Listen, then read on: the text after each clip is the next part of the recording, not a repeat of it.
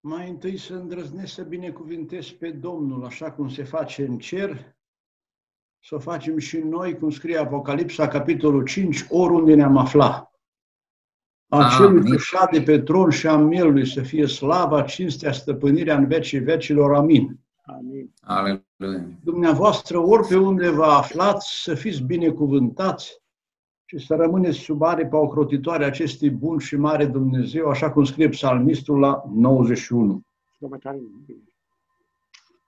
Aș vrea, dragii mei, poate o să vi se pară uh, deosebit cum vreau să procedăm, am pe inimă să vă citesc un articol pe care l-am scris și poate nu o să fie așa cum suntem obișnuiți noi la frații pentecostali, uh, foarte viu, foarte expresiv, deși eu o să mă străduiesc să citesc pe cât se poate pe înțeles. Și dumneavoastră, dacă mă veți urmări și cu Biblia, sigur veți înțelege. De altfel, cred că ceea ce dă putere de înțelegere nu e ceea ce noi numim așa carisma asta externă. Se spune despre Jonathan Edwards în secolul XVIII, când a fost acea trezire spirituală, că își citea predica de pe foaie. Dar oamenii erau cercetați și chiar cu tremurați. Acum eu vă citesc de pe foaie un articol. Subtitlul Separarea spirituală. Și supun analizei dumneavoastră ceea ce veți auzi, pe lângă întrebările ce am înțeles că deja le aveți, puteți să notați tot ceea ce nu reușesc să fiu convingător în ceea ce am scris, ca să putem relua în așa fel încât în sinceritate și sublimina Duhului Sfânt, să putem spune în final, dacă ar fi să mă fim întrebați, cum întreba Domnul după ce a spus niște de ați înțeles voi toate aceste lucruri? Și au zis, da, Doamne. Încep să citesc. Separarea spirituală. Nevoia de separare, apărută deodată cu păcatul, a fost mereu necesară în istoria umană, tot pe motive de păcat, și se va finaliza cu separarea veșnică în tot ceea ce a fost atins de păcat și nu a putut fi recuperat și înnoit. Această afirmație este susținută de principiile sfinte, enunțate de Dumnezeu și exemplificate de multe atitudini luate în mod unilateral sau bilateral de părțile rămase de o parte sau alta a liniei care separă ceea ce este sacru de ceea ce este profan. Primul capitol istoria separărilor de la Eden la Ierusalimul de sus. Separarea a fost în grădina Edenului linia avertizatoare în jurul pomului interzis. Și atunci când protopărinții noștri n-au respectat principiul separării, pentru că păcatul deja exista, a urmat separarea prin ascunderea lor și apoi prin aruncarea lor în afara grădinii. Așa cum știm din Genesa, capitolul 3. Oamenii însă nu au fost abandonați, ci le-au fost date indicații cum să se apropie de Dumnezeu în vederea reunificării. Astfel, jertfele intermediau în mod provizoriu și simbolic refacerea unității pierdută prin păcat. Fiindcă păcatul s-a extins aproape fără limite pe pământ, Dumnezeu a recurs la un alt mod de separare, prin păstrarea în corabie a familiei omului neprihănit. Genesa 6. Lucrurile s-au repetat după potop, păcatul fiind, generație după generație, fructul interzis, dar dorit de umanitate și pentru a nu lua amploare, Dumnezeu a mai făcut o separare pe națiuni, la turnul Babel, Genesa 11. Și a continuat însă și separarea la nivel familial, familiile patriarhilor fiind cunoscute prin neidentificarea lor cu popoarele în mijlocul căror locuiau, așa cum citim în Geneza de la 12 la 50. Odată constituită într-un popor și ajunsă pe un pământ străin, familia lui Iacob a intrat în disgrația populației autohtone. Venise vremea unei separări majore, când poporul evreu a fost dus mai întâi în pustie pentru a primi legea care avea să contribuie major la separarea de toate celelalte națiuni.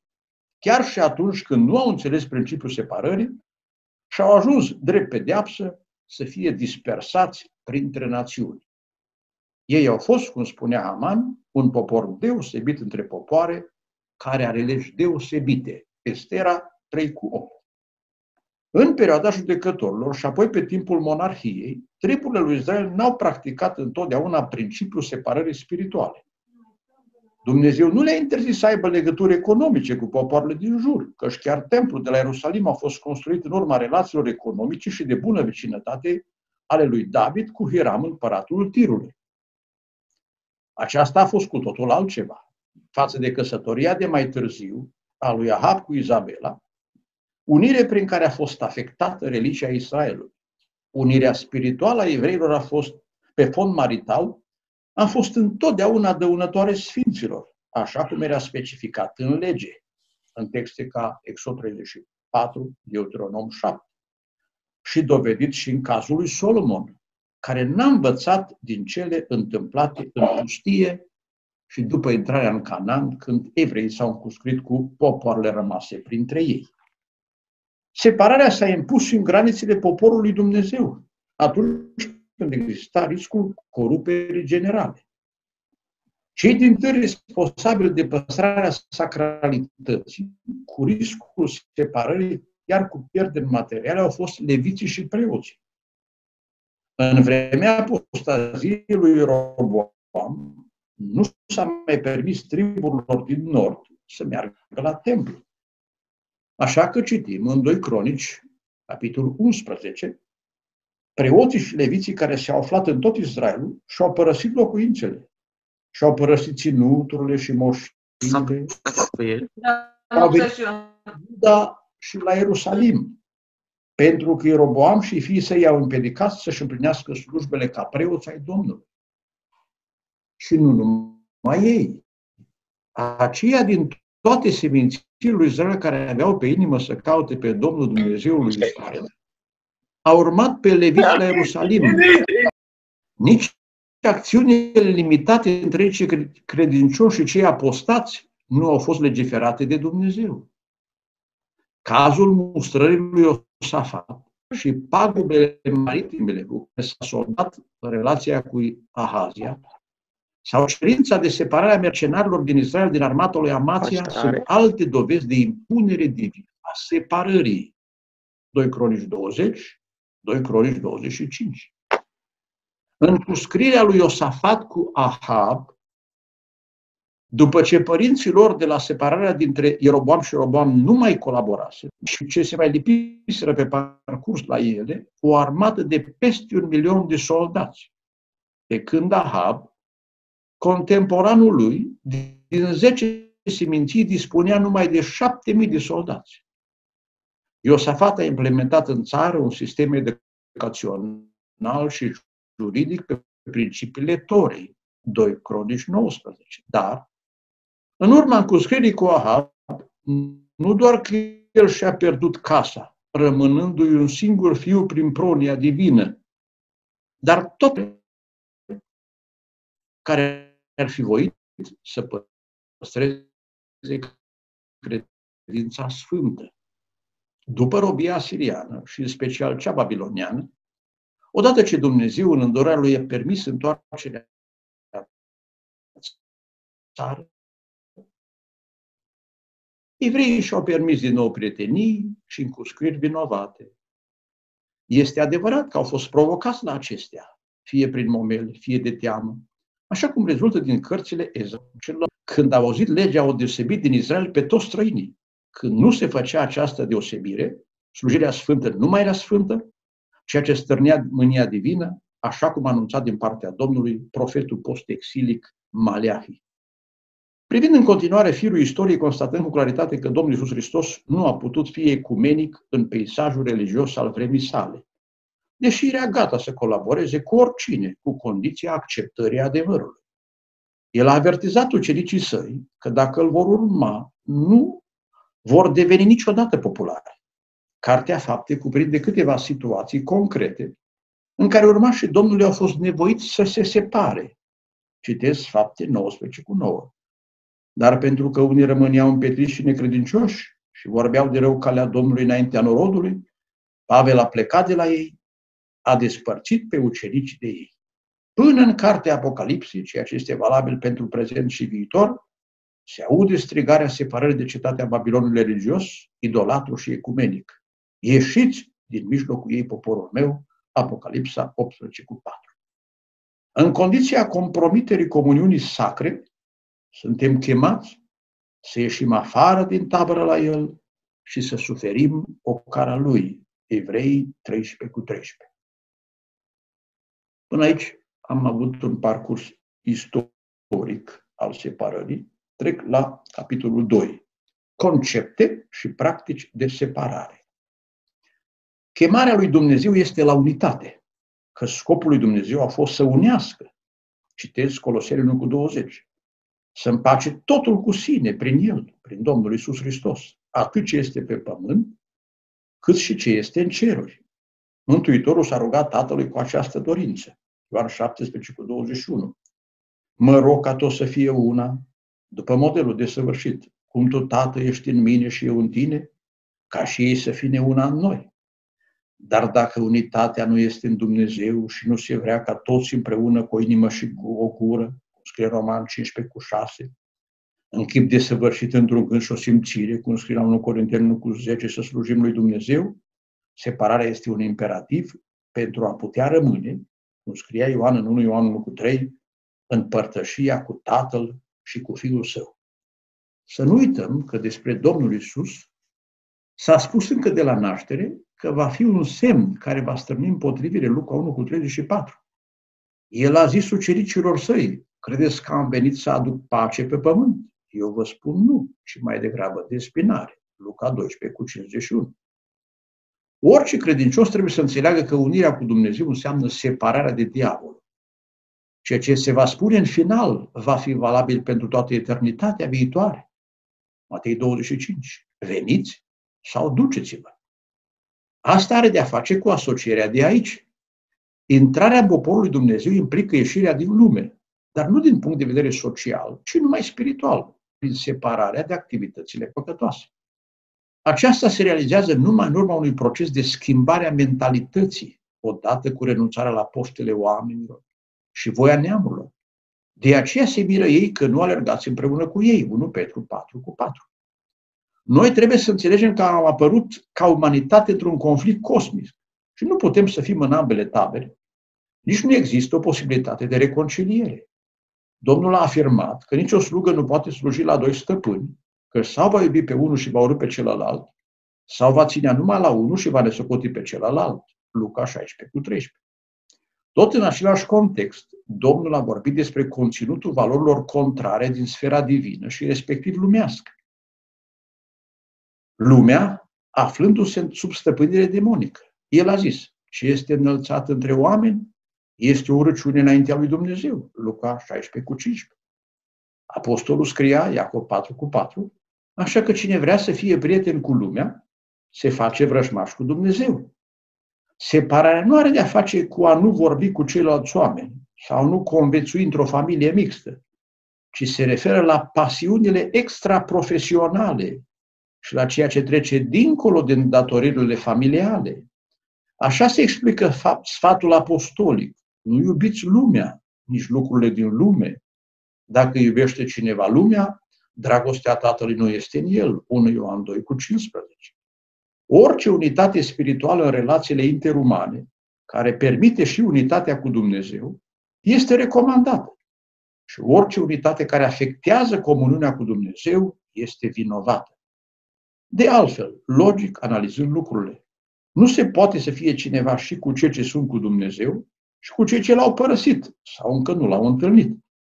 Sfatul practic este renunțarea și îndepărtarea de tot ceea ce este dezonorabil și degradabil în căutarea valorilor sfinte și eterne, în compania celor ce merg pe același drum al întoarcerii spre slava originii noastre, conform planului etern de salvare a creației căzute în păcat după cum scrie și 2 Timotei 2 cu 22, fugi de postele tinereții și urmărește credința, pacea, dragoste și iată comuniunea împreună cu cei ce cheamă pe Domnul dintr-o inimă curată. În analiza conceptului de separare, trebuie să înțelegem compatibilitatea dintre separarea de lume și de păcat și trimiterea noastră în lume cu scop evanghelistic, în condiția existenței noastre naturale, fizice în lume, potrivit afirmațiilor Domnului Isus Hristos în rugăciunea sa, Ioan 17. Apostolul Pavel sfătuia pe Timotei și pe toți cărora se adresează epistole pastorale, potrivit cu chemarea și statutului slujitor, să interacționeze cu toți cei din tabăra subjugată diavolului pentru a-i atrage de partea adevărului și a vieții. El scria colaboratorului lui cel mai apropiat, care lucrase împreună cu el ca un rog pentru înaintarea Evangheliei, rugându-l fierbinte, înaintea lui Dumnezeu și înaintea lui Hristos Iisus, să facă lucruri evangheliste. 2 Timotei 4. Aceste eforturi de evangelizare și ucenicizare nu implică profanare, ci numai sfințire, după cum a scris și Iuda, fratele Domnului. Mustrați pe cei ce se despar de voi. Căutați să mântuiți pe unii, smulgându-i din foc. De alții, iarăși, fie vă milă cu frică, urând până și cămașa mânjită de carne. Iuda 22 și 23. Cei de afară nu înțeleg dimensiunea relației sfinte și pun problema rațional când zic noi am venit la voi la nuntă în adunare, veniți și voi la nunta noastră în lume și nu vă vom pune la o masă cu băutură. Numai că nu ne vor putea pune într-un local fără muzică profană și fără fum de țigară sau vorbe din cauza cărora scrie în Efeseni 5 cu 6 că vine mânia lui Dumnezeu peste oameni ascultători. În aceste condiții, Apostolul scria în același text în continuare, versetul 7, să nu vă întovărășiți, dar deloc cu ei. Cel mai greu este acceptată și înțeleasă nevoia de separare spirituală în interiorul unei organizații religioase, așa cum am amintit în partea de prezentare istorică de separările cerute de Dumnezeu în interiorul granițelor poporului evreu. Există diferite activități de colaborare confesională sau interconfasională la nivel național, regional sau local, care presupun cooperare dintre diferite formații muzicale, sau reuniuni, sau vizite reciproce, activități sociale, sau ce este cel mai de substanță, acceptări ale slujirii unor învățători cu concepte și practici diferite și chiar opuse. Ce ne învață Biblia despre astfel de relații ecumenice? Cum aplicăm cele enunțate până aici sau alte referințe biblice care credeți că ar putea contraargumenta cele indicate în favoarea păstrării relației cu Dumnezeu și neafectarea poporului care ne-a rânduit Domnul să fim și să slujim fiecare după puterea pe care ne dă Dumnezeu. Trebuie să recunoaștem, chiar cu riscul ruperii unor prietenii, care tot nu vor rămâne veșnice, că nu putem să acceptăm participarea unor formații din biserici cu orientări foarte diferite, ca de exemplu, o formație cu accente rock, din mediul evanghelic chiar, să vină să slujească, pe motiv că o astfel de muzică strânește poftele, prin efectul cunoscut al muzicii asupra trupului, în loc să favorizeze starea de penitență sau bucuria sfântă. Nu va fi edificator ca un predicator liberal pentru care activității lumești ca sport, plajă, filme sunt acceptate în practica lui personală, să vină să conferențieze pe niciun subiect biblic, căci va strecura pe furiș erezii nimicitoare, 2 Petru 2 1. Ereziile pot fi în diferite domenii teologice și toate sunt dăunătoare. Fie că intentează la persoana Domnului Iisus Hristos, fie că, cum spunea Iuda 1 cu 4, schimbă în desfrânare Harul lui Dumnezeu. Nu putem să fim de acord și în părtășie cu toți ce, ce cheamă numele Domnului în vreun loc, spun asta în baza textului din 1 Corinteni 1 cu 2, numai dacă au fost sfințiți, spune același verset. Și mai departe scrie, dacă au înțeles că, au, că sunt chemați să fie sfinți. Ceea ce afirmă în Filipeni 3 cu 16 același apostol, în lucrurile în care am ajuns de aceeași părere să umblăm la fel, nu justifică orice colaborare spirituală. Pentru că el nu recomandă aici unitate în diversitate, ca fiecare să rămână cu părerea lui, ci dorința profundă de a face un singur lucru, scrie în acel text.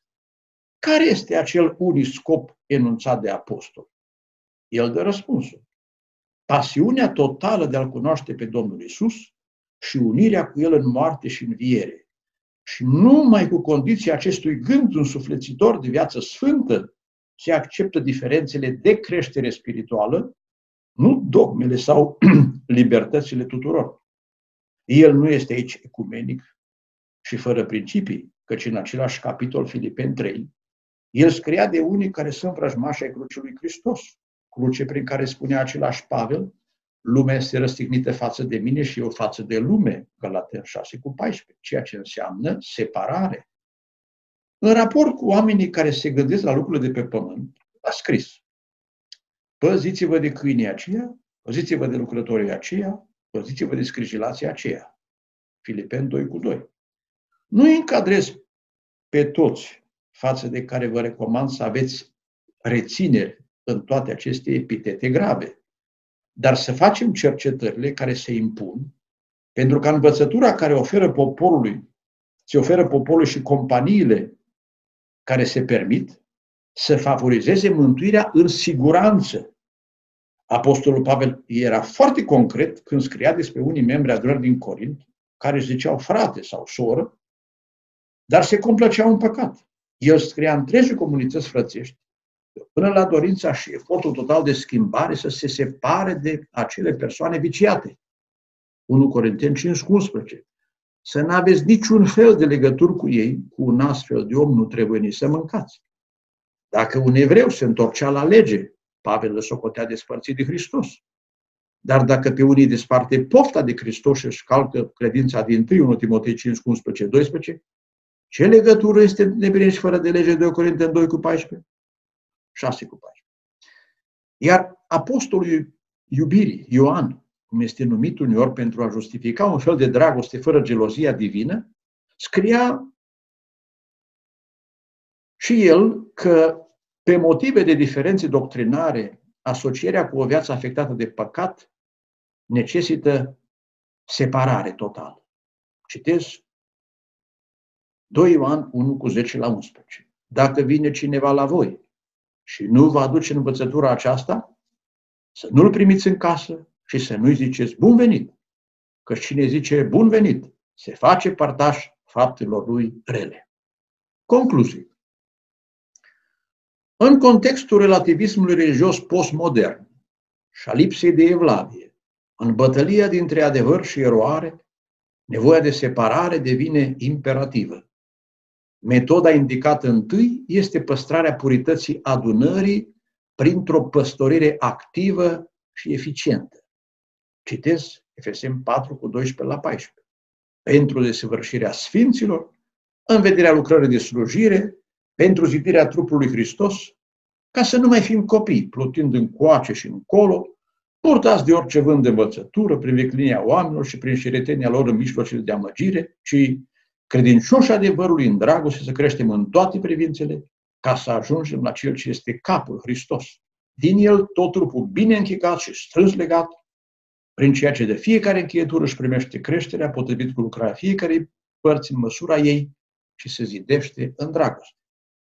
Această definire a relațiilor și funcțiilor structurale din biserică explică prin exemplu trupului uman necesitatea unității lucrative în procesul mântuirii expresiile, bine închegat, strâns legat, în dragoste, sunt referiri concrete și puternice despre nevoia de cooperare apropiată dintre diferitele segmente de lucrare sfântă, dar numai în condiția că relațiile decurg din El, din Domnul care este capul.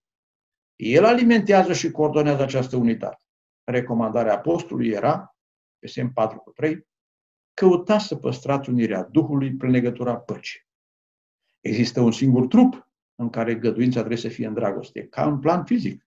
Dacă un organ sau anumite celule din trup sunt afectate, se încearcă odată cu dezvoltarea, întreținerea și tratarea. Dar dacă tratarea nu mai este posibilă, se impune extirparea celor afectate sau chiar amputarea unui organ pentru a salva trupul. Desepararea în trup nu este un moft.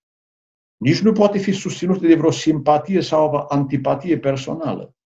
Excluderea din trup trebuie să aibă loc numai atunci când nu mai există viață în acea parte a trupului și mai mult, când este în pericol sănătatea și funcționalitatea altor părți ale trupului sau chiar a trupului întreg.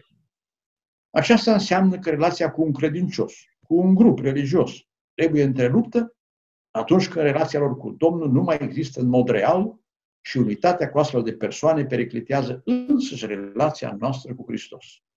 Însă numai în condiția ale pădării se impune ca nici rugăciunea să nu mai tangențieze acele suflete lepădate ce s-ar dovedi numai prin refuzul lor total de pocăință conform Evrei 6. În rest, separarea trebuie să fie fără abandonare totală, ca în cazul refacerii unirilor cu Hristos. Amen. La care putem contribui și noi dacă ne ascultă, să putem să ne arătăm iarăși dragostea.